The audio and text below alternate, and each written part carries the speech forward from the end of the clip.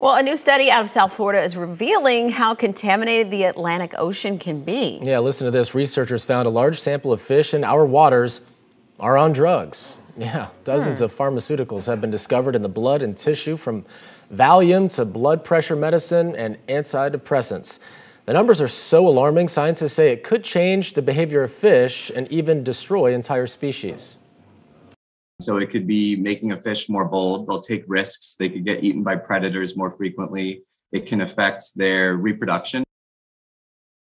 Yeah, then fish chill now. Researchers say the drugs are being ingested by the fish through human waste. Scientists are now focusing on how eating these fish could affect people. Oh. So. It's fascinating I because you know fish, they, yeah. they, they talk about not flushing um, right. you know old prescriptions right. and things down the drain, right. but they're saying this is from, from the yeah, waste yeah. itself. So I'm wondering. Yikes, that's crazy. scary. I just hope the fish don't start acting like the people. You know, the people are, are, acting crazy these days. Yeah. So I see the fish just jumping up and just slapping each other. You know, that's how it'll be.